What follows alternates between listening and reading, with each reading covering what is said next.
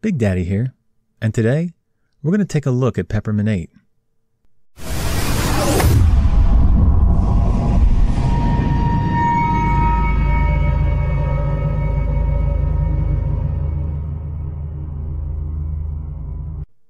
So let's get started. So, Peppermint 7 was a fan favorite of a lot of people for being lightweight, quick, and just overall usable. It just worked. So, Peppermint 8 was released last week, and I figured I would check it out. I really never ran Peppermint 7, so I'm kind of new to this area.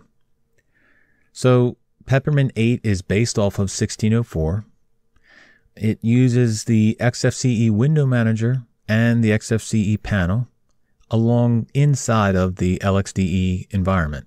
So normally when you see a hybrid system where there's multiple items in it, you'll see the OpenBox window manager, but they've chosen to use the XFCE window manager and I think it works out pretty well. So you get your traditional panel at the bottom. You'll have your clock, keyboard layout, system tray, and window switcher. Then you'll have a traditional uh, task manager to show you all of your open programs and your launchers. And the highlight of the panel is always the whisker menu. So the whisker menu is a really fast, customizable menu that you can pretty much make it anything you want it to be.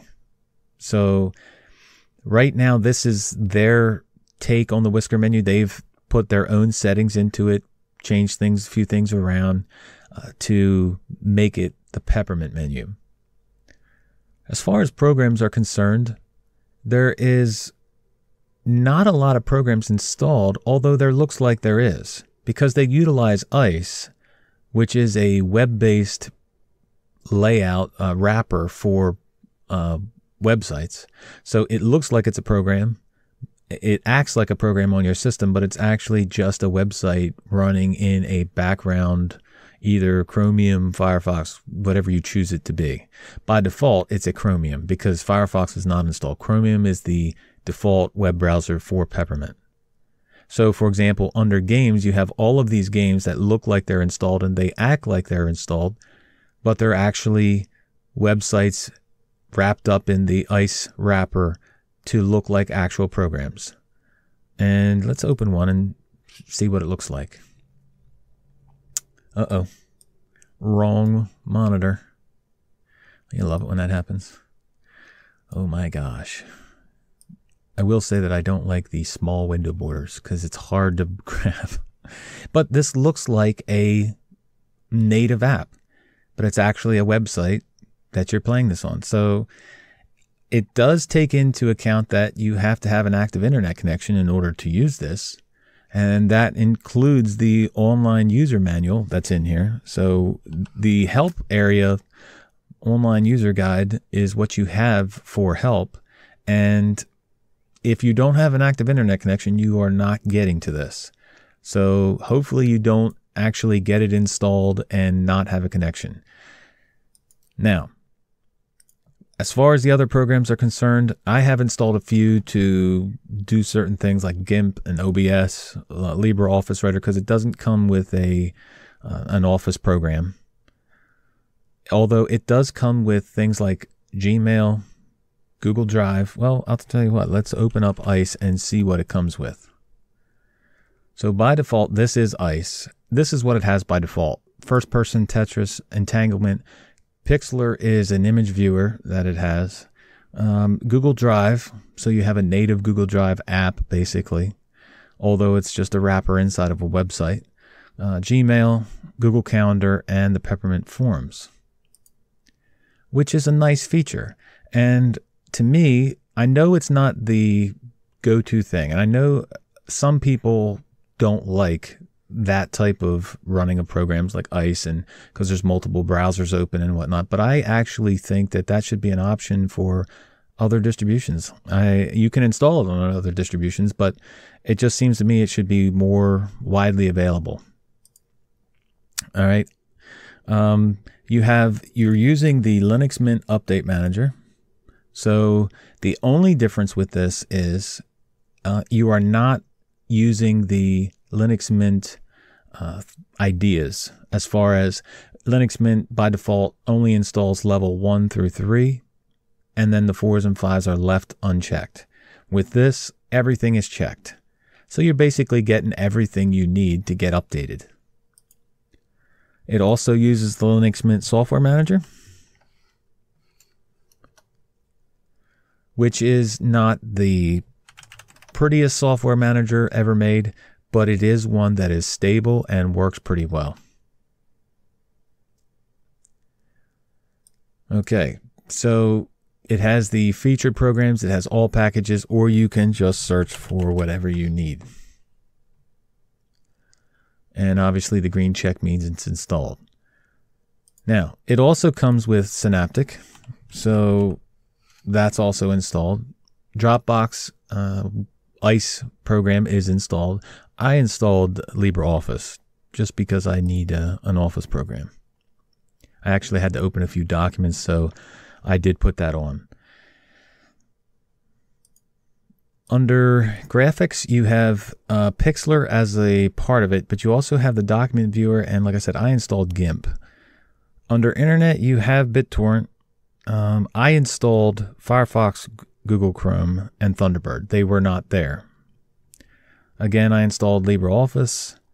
I installed private internet access, which is my VPN.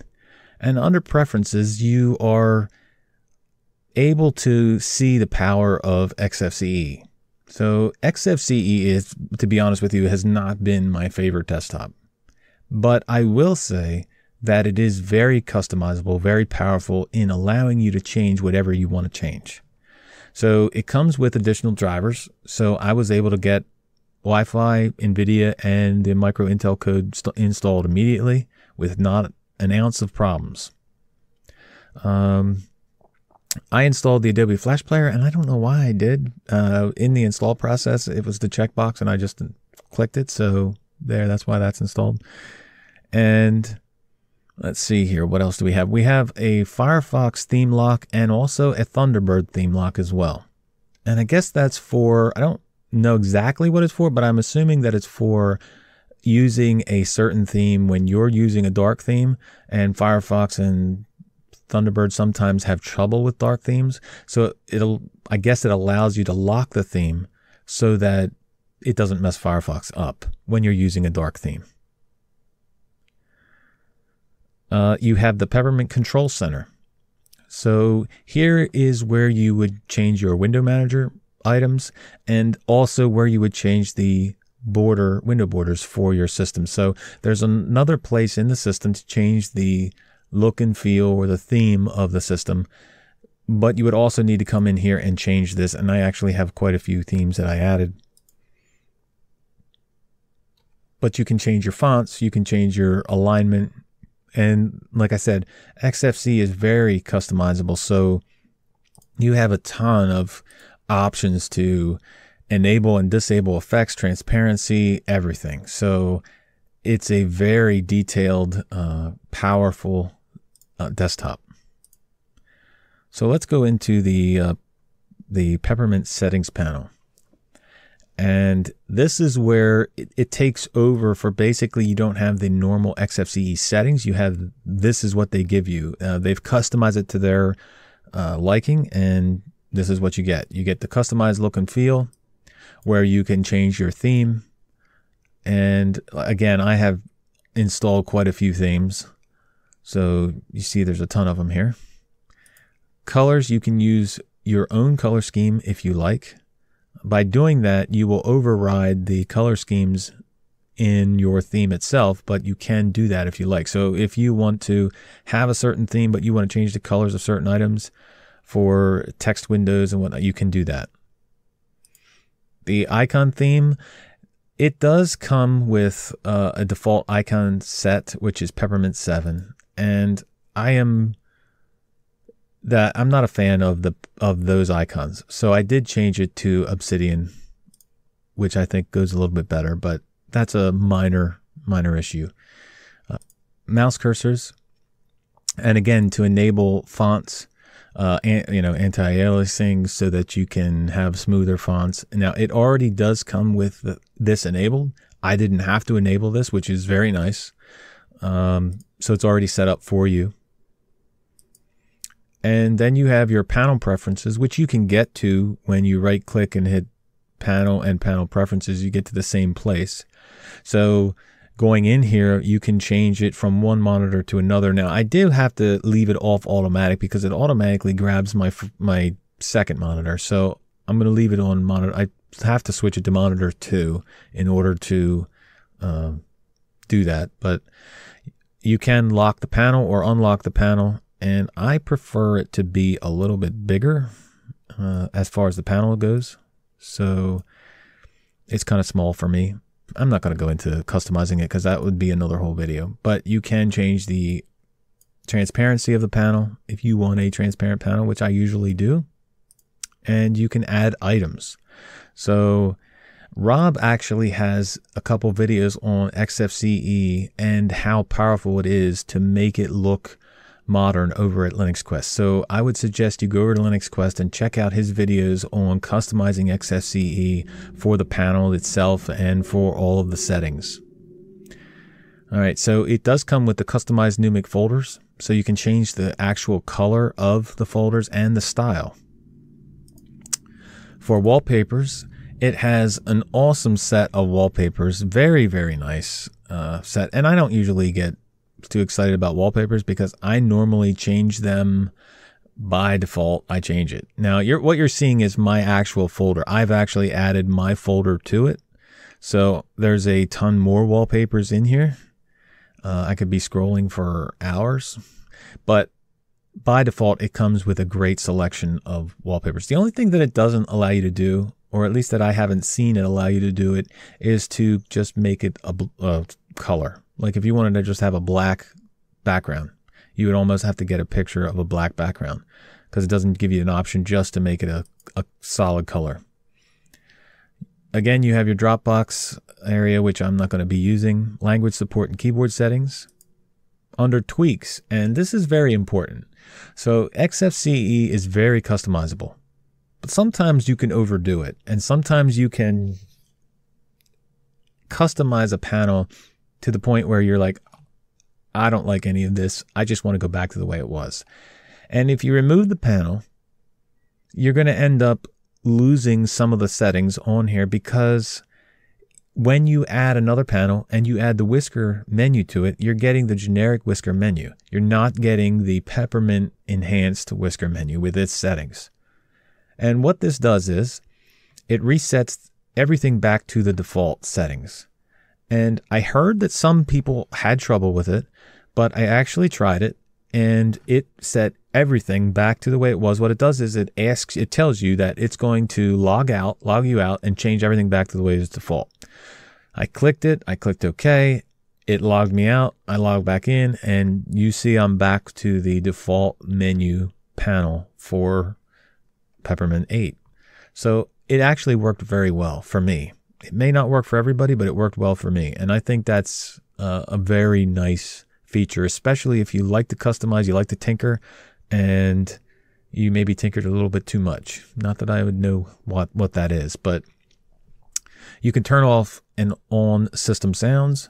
Here's your notification settings. So you can, and if you'll notice there's a, there's a uh, transparency to the background windows. So the main window will not have transparency, but if you drag it, it will, and any background window will have transparency. That's a user preference. If you like that or don't like that, you can turn that off as well, uh, or you can lighten it up. I think depending on the wallpaper you use, it may be good or bad. All right, so you have dconf editor. You have auto mount settings for drives, software and update settings where you can actually uh, manage your PPAs if you have put any in there. I've not tried the enable system hibernation, so I don't know what to tell you on that one. Here is your properties for Flash Player. Under hardware, you have printers, sound, the monitor for your resolution. Here are your shortcut to additional drivers. This was also pretty cool. Uh, the audio equalizer so you can actually put an equalizer on the sound as you're like if right out from the get go without having to do it through a program. Um, power manager. Under network, you have the network manager, Bluetooth, Bluetooth adapter properties, firewall. Here is the Firefox theme lock and Thunderbird theme lock. Samba shares. You can change your user groups or add a user. Time and date. The startup application. So, for example, for whatever you want to be starting up. Now, I unchecked a few of these that I didn't think I needed and left a few on that I did need.